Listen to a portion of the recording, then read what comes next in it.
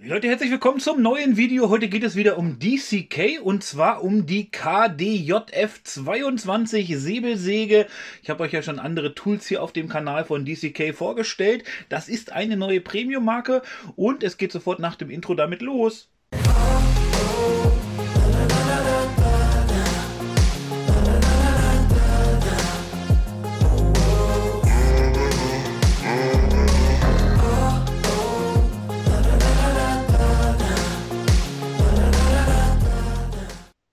Ja, wie eingangs schon erwähnt, DCK als neue Premium-Marke am Markt haben unwahrscheinlich viele Werkzeuge gleich auf den Markt geschmissen. Werde euch hier nach und nach alle hier vorstellen. Ihr findet fertige Videos auch schon unten verlinkt. Dort könnt ihr euch dann die anderen Videos dazu auch nochmal aufrufen. Wir befinden uns im 20 Volt System, aka 18 Volt System. 20 Volt gibt man ja meistens nur deswegen an, weil eben dann die Spitzen im 20 Volt Bereich liegen. Ein Akku und ein Schnellladegerät ist hier gleich mit enthalten. Ein großer Akku Akku sogar. Akkus könnt ihr natürlich auch einzeln kaufen. Ich verlinke euch alles unten in der Videobeschreibung, auch das Gerät. Vom Preis her kann man so sagen, das liegt immer so zwischen 100, 150 Euro. Je nachdem, wie der Hersteller das gerade so einsortiert hat, beziehungsweise welche Aktionen sind, achtet immer so ein bisschen drauf. Manchmal ist irgendwie noch ein kleines Kästchen mit dabei. Und ich werde vom Hersteller sicherlich auch noch den ein oder anderen Rabattcode bekommen. Den findet ihr dann natürlich auch unten und dann wird es auf jeden Fall nochmal etwas günstiger. Ja, die Säge leistet 0 bis 3000 Umdrehungen pro Minute Minute beziehungsweise Säbelhübe, muss man dazu sagen. Wir haben einen 4 Ampere-Stunden Akku mit dabei und ein 2 Ampere Ladegerät. Das Ganze ist für Holz, Metall und so weiter geeignet. Sägeblätter sind natürlich auch mit dabei. Grundsätzlich werden wir die natürlich auch gleich mal ausprobieren. Aber erstmal packen wir die aus. Aber bevor wir das machen, schaut euch nochmal hier die Verpackung an. Das finde ich nämlich super, dass die hier nicht so irgendwie noch in Hochglanz sind und die Umwelt nochmal extra belassen. Irgendwie, das reicht ja so auch vollkommen aus. Und ihr werdet sehen, wenn ich das Ganze jetzt hier einmal öffne, da ist noch eine Tasche mit dabei. Das heißt, den Pappkarton, den gibt er dann einfach zum Altpapier und dann nutzt er diesen Taschen hier, die wirklich sehr hochwertig auch gearbeitet sind. Schaut euch das mal an, da passt also einiges rein. Außen könnt ihr auch noch einiges reinpacken und das sind jetzt keine 0815 Taschen, sage ich mal. Die sind also wirklich hier auch mit Besatz noch mit drauf und der Reißverschluss ist vernünftig. Also das ist wirklich eine vernünftige Werkzeugtasche, die hier bei allen Geräten übrigens einzeln nochmal mit dabei ist. Dann haben wir hier Einmal die Säbel-Sägeblätter, wie gesagt, Metall ist hier mit dabei und Holz ist mit dabei, feine Sägeblätter sind mit dabei. Und die aus Metall, die sind natürlich auch flexibel, sodass ihr zum Beispiel auch einen Rohr, einen Metallrohr an der Wand damit direkt abtrennen könnt.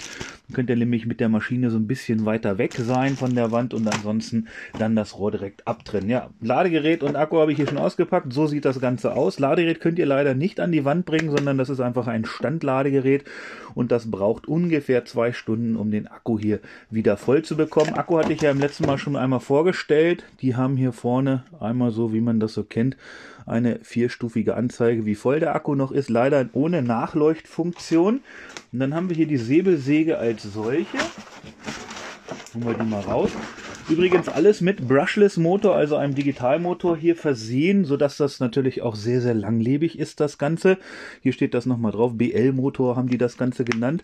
Hier haben wir eine Sperrfunktion mit dabei, sodass hier keine Kinder rangehen können oder zumindest das nicht so einfach ist, dann hier irgendwie was auszulösen. So ist es dann gesperrt. Wir haben einen gummierten Handgriff hier an sich.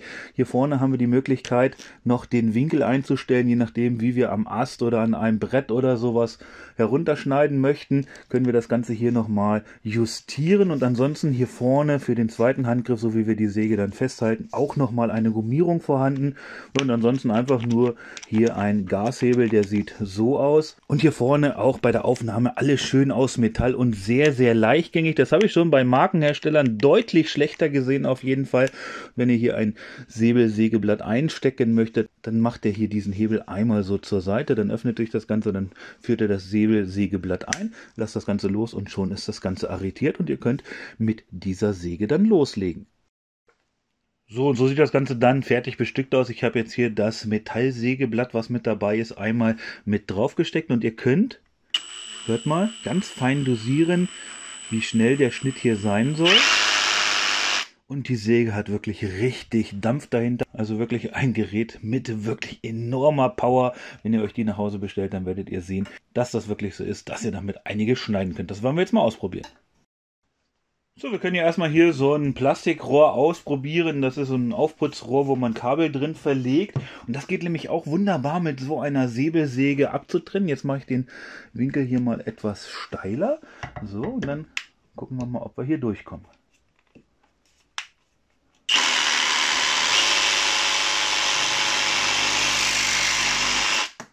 Schaut mal, wie die hier durchgetaucht ist, wie durch Butter. Und der Schnitt hier wirklich sauber. Gut, wenn ihr jetzt langsamer sägt, dann habt ihr vielleicht ein paar weniger Grad. Aber so, jetzt geht ein paar Mal mit dem Finger drüber. Und dann ist das Rohr auch sauber. Ja, dann gucken wir uns mal an, ob wir hier so ein Stahlrohr, so ein Vierkantrohr geschnitten kriegen damit. Also das ist nichts Leichtes, das ist wirklich schon ein bisschen eine stärkere Geschichte.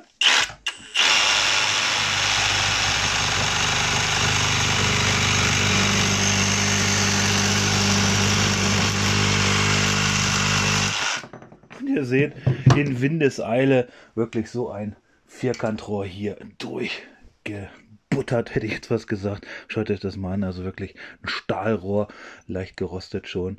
Und was ist das hier, 2 mm oder was wird das sicherlich haben? Wir können es ja mal ausmessen. So, schauen wir uns das mal an, was das hier hat. Ja, anderthalb. 1,5 mm hat das. Aber wer da schon mal mit der Hand gesägt hat, der weiß sicherlich die Vorzüge einer solchen Säbelsäge dann zu würdigen. Probieren wir mal Holz aus.